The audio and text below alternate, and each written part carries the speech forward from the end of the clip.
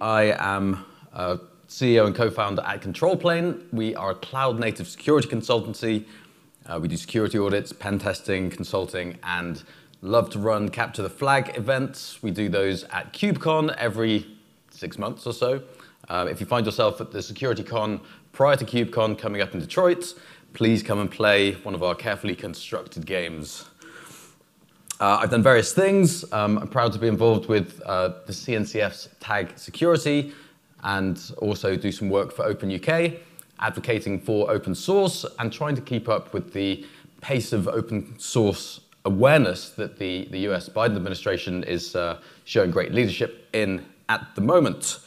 Uh, I've also written a book recently with my esteemed friend and colleague, Mr. Michael Hausenblas, the first half of the book is available as a free PDF download, uh, which slightly edges the, uh, the printed book because you can just copy and paste the examples. It is ridden with hacks and YOLO techniques for your Kubernetes clusters and details everything from inside a pod out to compromising a node, a cluster, and ultimately your cloud environment. So today we are going to talk about trust in the context of secrets management and access control, focusing primarily on machine identity, what it is, how we get one. We'll talk about some things that hopefully will be uh, interesting and slightly new, and hopefully things that you can take back and use in the context of your day jobs. So with that, where did we come from? Before cloud,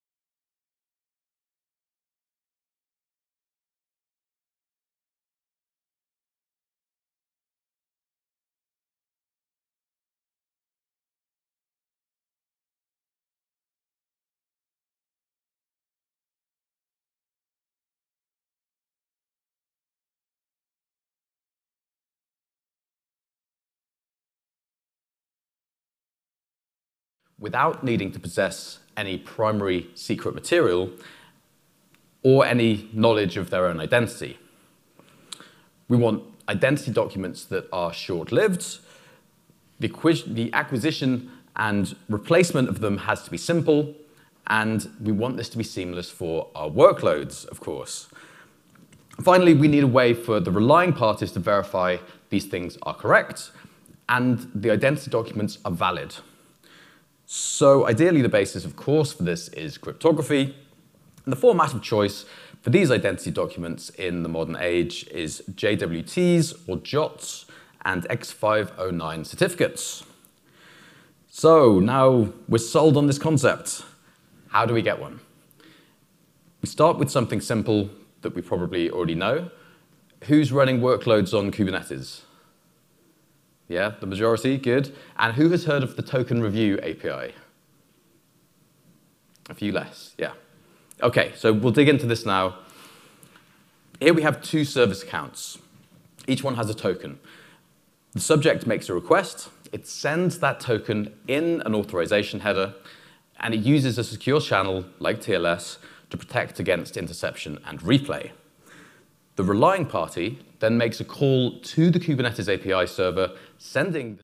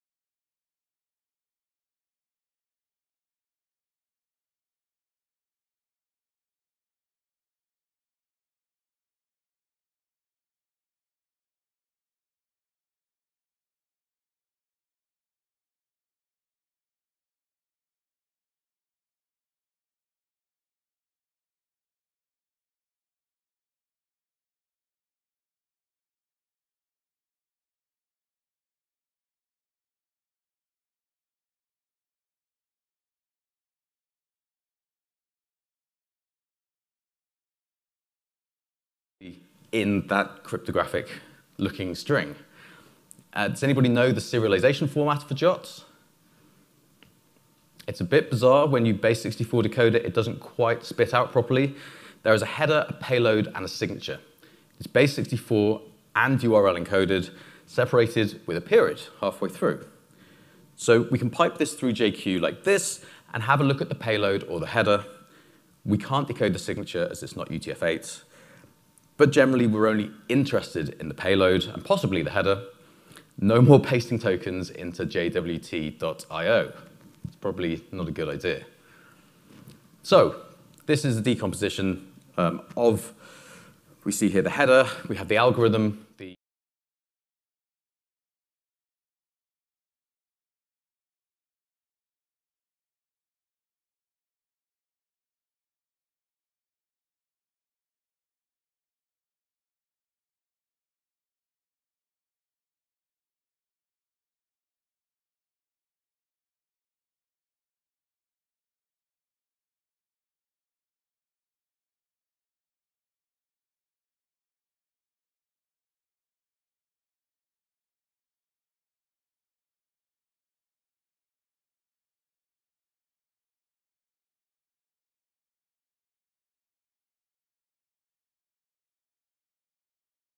Then we see metadata about the pod and the service account and the subject there at the bottom. We have a lot of metadata in here as well. The JSON web key set URL. So this is a set of keys containing the public keys used to verify any JOT issued by the authorization service.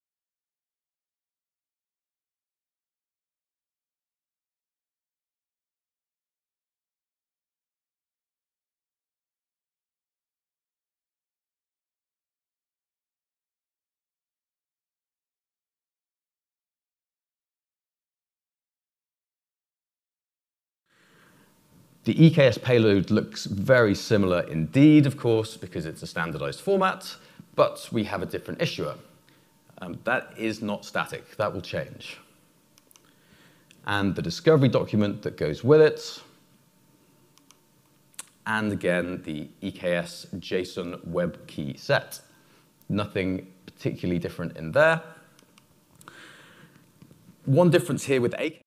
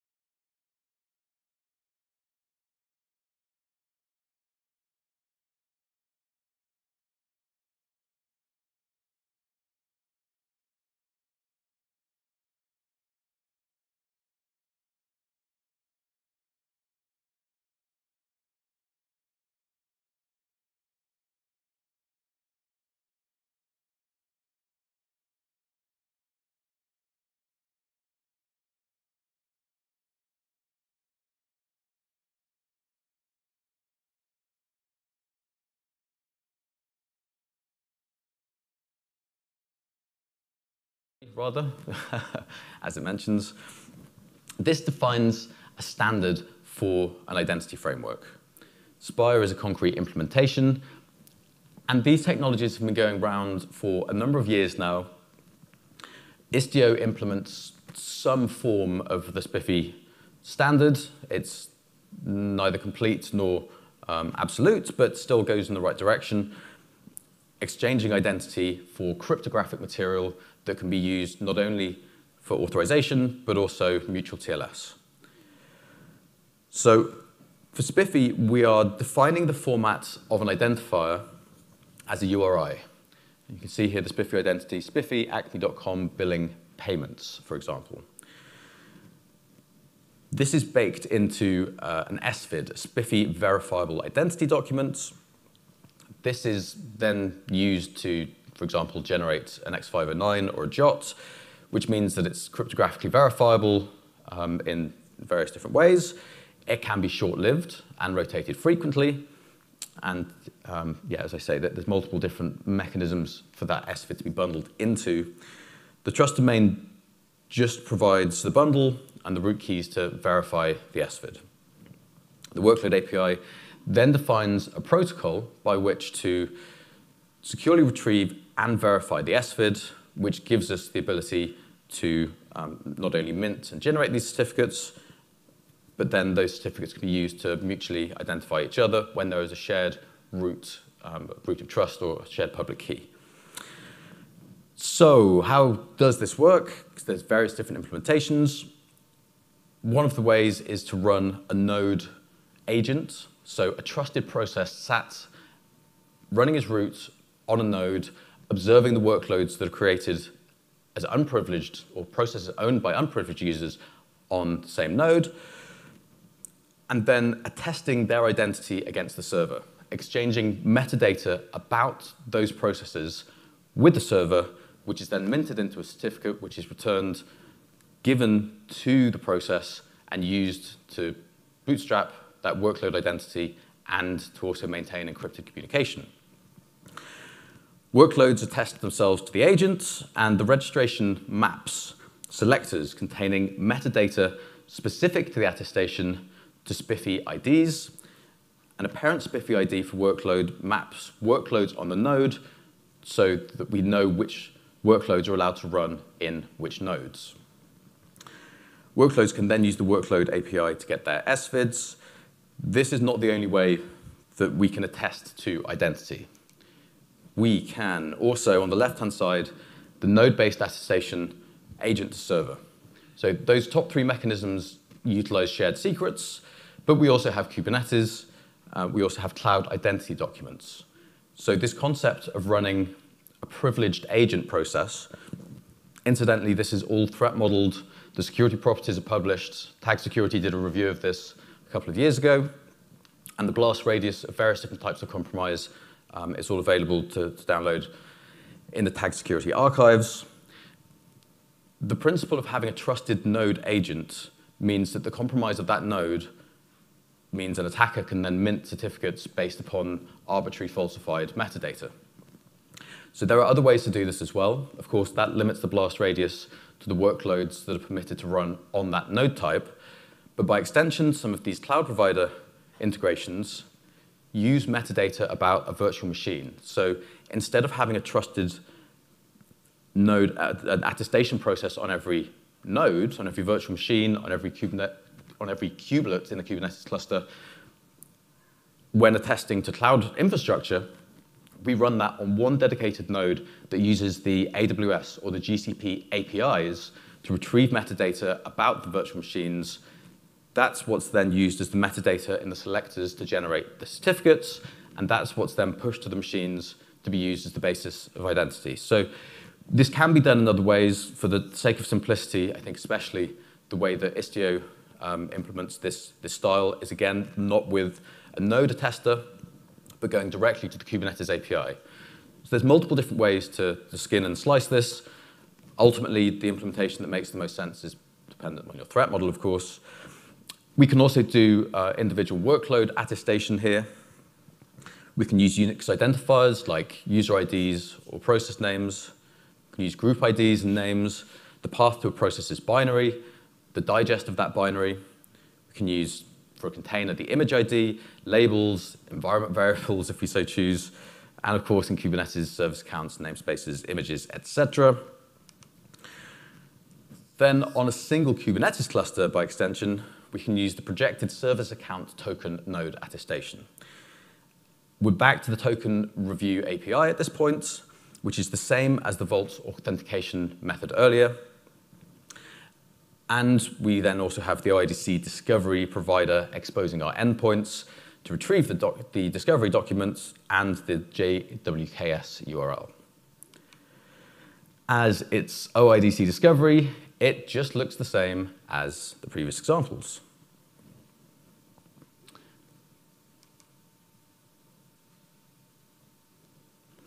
And we can use it in the same way as a Kubernetes service account JWT. So far, we have focused just on the JWTs. The motivation for this was to demonstrate that we can do a lot with Kubernetes as our IDP, as our identity provider. Spire gives us extra capabilities, but with an administrational and operational overhead. You get these for free on Kubernetes. Again, there is a balance here of operational versus risk. The specific use case will determine your need, but the assumption is for some of this that a service mesh um, is used for secure communication, or at least a mutual TLS exchange, um, or, or indeed just a one-way TLS exchange, as long as there is encryption that prevents the provisioning of these tokens being intercepted, obviously. What if we want the same workload ID in the JWT and the X509? Well, we can also provide the SVID oh as the X509 document, where the SPIFFE ID is in the URI SAN, the subject alternative name. Then we can use for server and client authentication. The certificate can be used for mutual TLS, to log into Vault, or for anything else that supports certificate-based authentication. When we're using this to log into Vault, the question of having a key to unlock the box to get the second key out is fixed because the workload is provisioned a cryptographic identity that it can go to Vault and say, hi, I'm allowed to do this. Vault can then go out of band to the Kubernetes API server, or indeed just trust the fact that this is encrypted and encoded into a certificate with a shared public key that's trusted and give that secret zero. This is easier and more stable, in, in my opinion, than um, a, a, lot of the other Vault unlock mechanisms um, and doesn't necessarily require so much uh, sort of sidecar mounting as we may have seen. Uh, so yeah, as we say, um, Spire is also implementing the Envoy secret discovery service. So from a uh, from an Envoy perspective, and then by extension, sort of service mesh and Istio, we can integrate with Envoy for TLS, and just push that directly into Envoy, and optionally OPA for policy-based access control using the SPIFFE IDs. Okay, we've looked about the software, now perhaps into the hardware.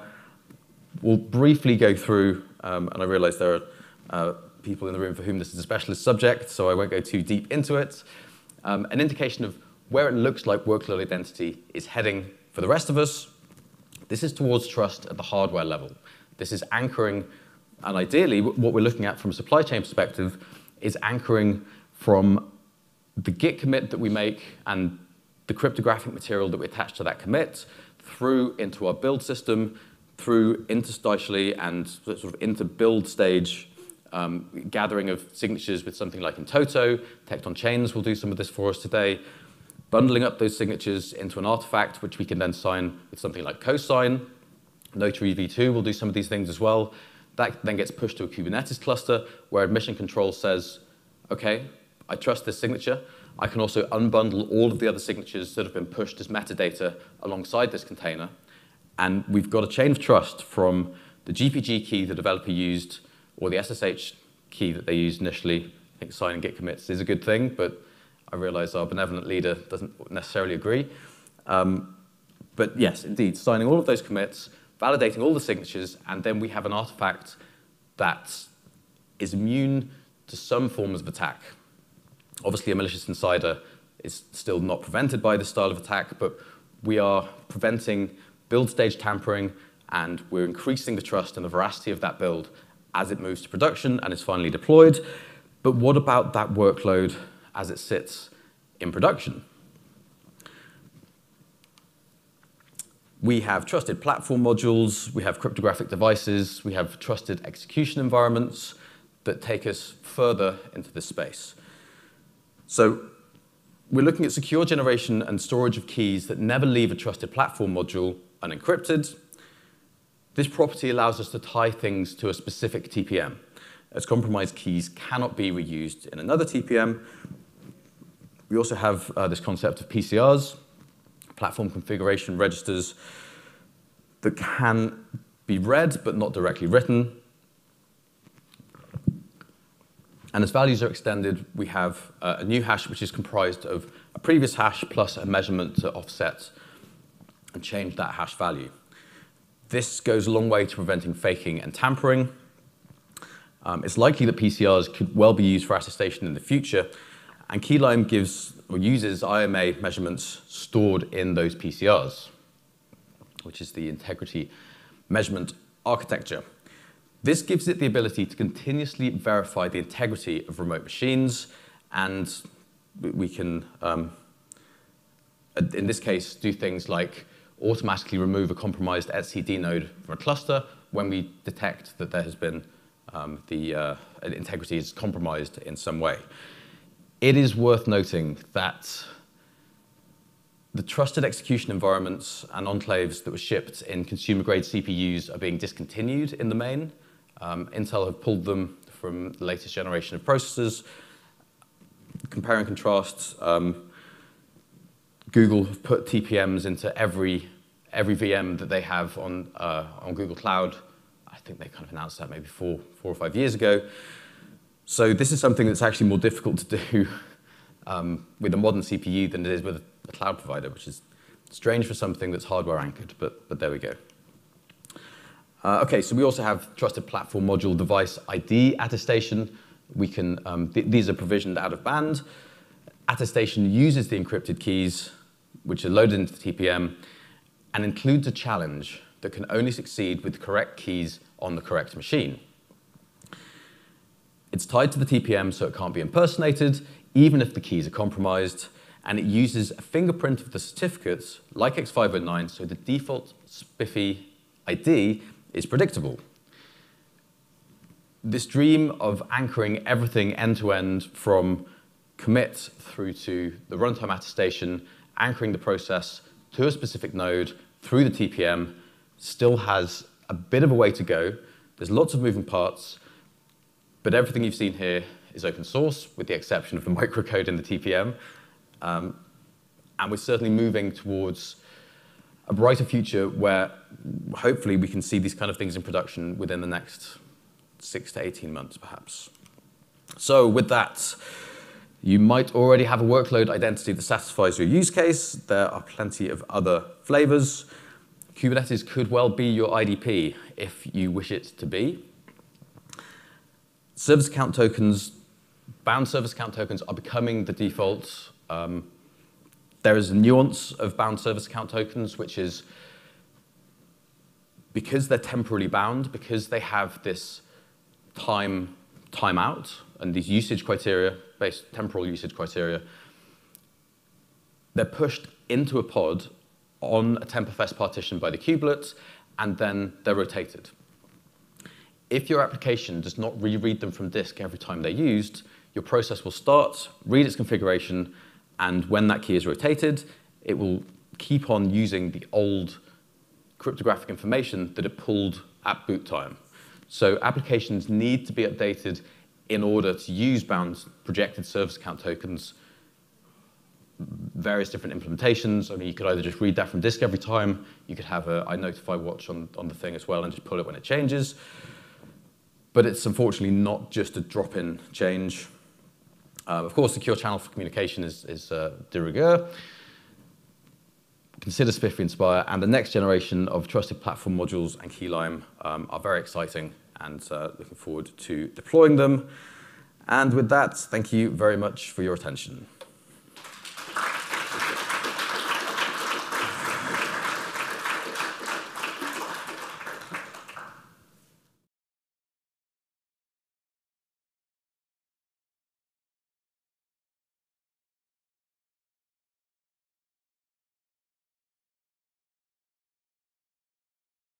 in that case. Thank you very much.